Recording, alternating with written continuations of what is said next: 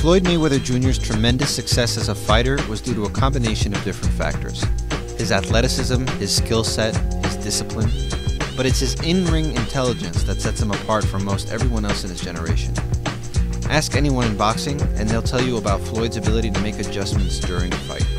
No fighter in history can make adjustments like me. If you look at the Shane Mosley fight, um, I made adjustments. If you look at the Ortiz fight, I made adjustments. You look at the De La Hoya fight in the past, I made adjustments. So, you know, Floyd Mayweather can al always make adjustments. But what exactly were the adjustments that allowed Floyd to walk away with a W each time out? Let's take a look at some of his most dramatic and effective in-ring adjustments over the course of his career. The 2007 mega fight against Oscar de la Hoya is often remembered for how competitive the rounds were throughout the first half of the fight. Using his jab, De La Hoya was able to back Floyd up against the ropes and limit his offense.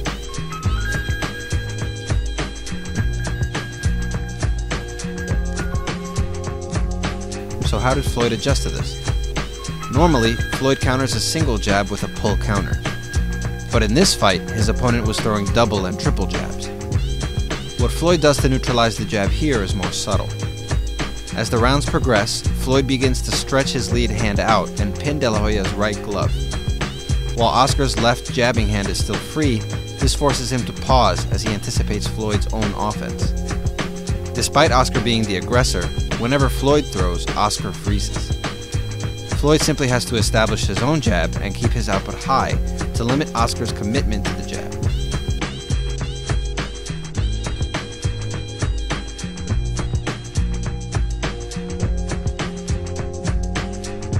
By the late rounds, De La Hoya was too focused on Floyd's varied straight rights to the head and body to back Floyd up to the ropes as he had earlier in the fight. Zab Judah was one of the few fighters Mayweather faced in his career with greater hand speed. Early on, Judah had success against Mayweather with blindingly quick right jabs, which he then used to set up his straight left through the gap in Mayweather's guard. Judah's right hook even manages to force Floyd to touch the canvas as he lunges with the straight right hand. Switching to a high guard, Floyd quickly shuts Judah's right hand down completely by throwing a lead left hook whenever Judah goes to throw with it. With no right jab, Judah's lefts also start to disappear, allowing Floyd to be more aggressive and target the body.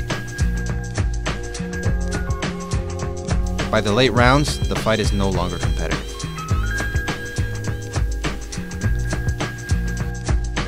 In 2010, we saw Shane Mosley's dangerous power force Floyd to adapt early in order to survive.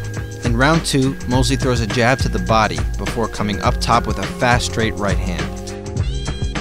Here, the first punch lowers Floyd's guard, leaving him momentarily vulnerable to the follow-up power shot. Later, as Floyd tries to answer with a hard left hook counter, Mosley throws a right hand over the top that stuns Mayweather.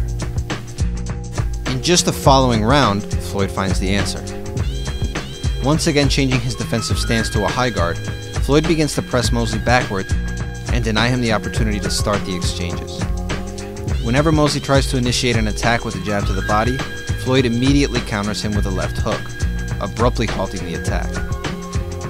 With the distraction of attacks downstairs eliminated, Mosley's offense up top becomes ever more predictable, leaving him vulnerable to Floyd's own assault.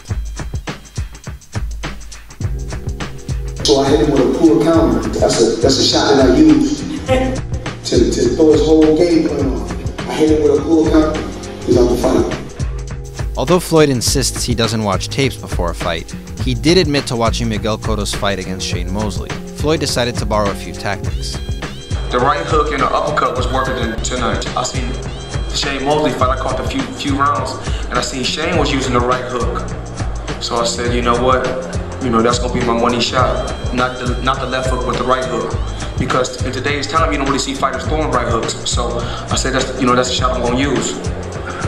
And then in the Zab Judah fight, I can remember Zab Judah, Zab Judah hit him with an uppercut and kind of buckled him. So then I said, okay, I'm gonna also mix the uppercut in there. You know, in the later rounds, I want to mix the uppercut in with the right hook. Given Cotto's earmuff guard, looping hooks and uppercuts were the ideal weapons for Floyd as Cotto pressed forward.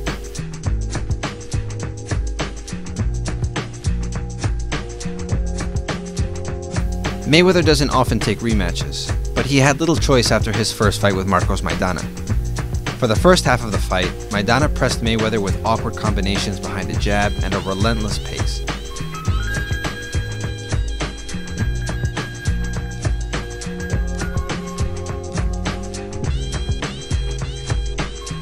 His thudding overhand right also regularly found its way over Floyd's shoulder once he was against the ropes.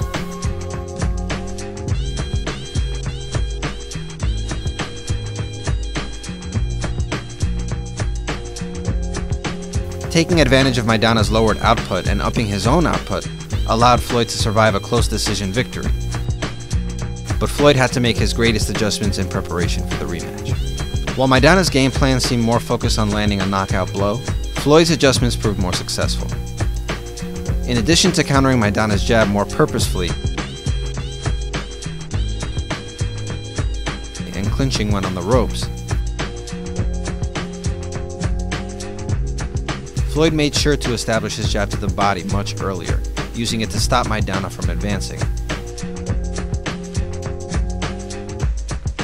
And committed to leaping in with power shots more often.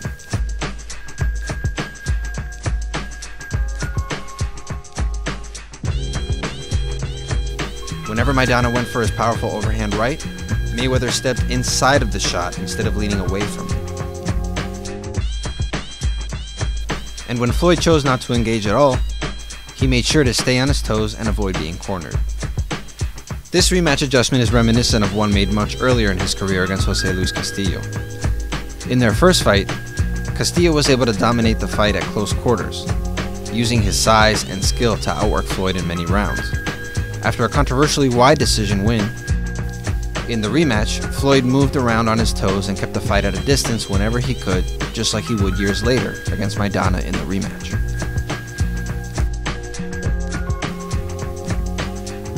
The Pacquiao fight is an intriguing fight to dissect because of the numerous adjustments and counter adjustments each fighter made. In the first two rounds, it appeared that Floyd had found an early answer by simply boxing tall behind the jab and relying on straight punches.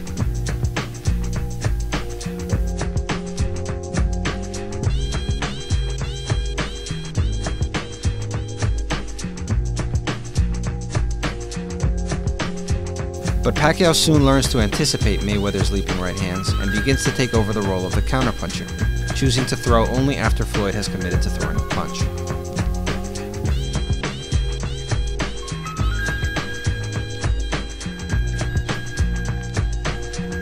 In round 4, Pacquiao actually baits Mayweather into throwing the jab, eating one and then inviting him to throw it. It's at this precise moment that Pacquiao steps in while slipping the jab to land a thudding straight left that drives Mayweather back to the ropes. While Floyd continues to land his right throughout the fight, Pacquiao uses the opening of the left jab to attack the body before switching up to the head. But in the middle of round 5, Floyd decides to surprise Pacquiao by imposing his size and going momentarily on the attack.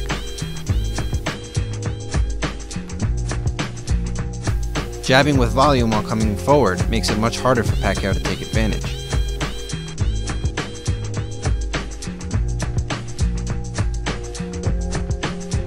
However, this aggression invites more of Pacquiao's sudden ambushes and counters to Floyd's trademark punches. And as the middle rounds go on, Pac's attacks compete evenly with Mayweather's long reach and use of counters as he spins off the ropes. In the eighth round, Floyd employs the aggression he first used earlier in round 5, but with a few new wrinkles. He starts to throw jabs to the body and lead left hooks up top.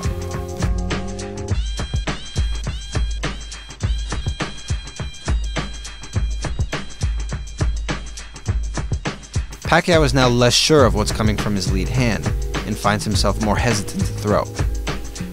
More and more often, Pacquiao jabs from out of range, leaving himself open to counters, and his lack of aggression allows Floyd to up his own pressure, exposing Pacquiao's weakness on the back foot.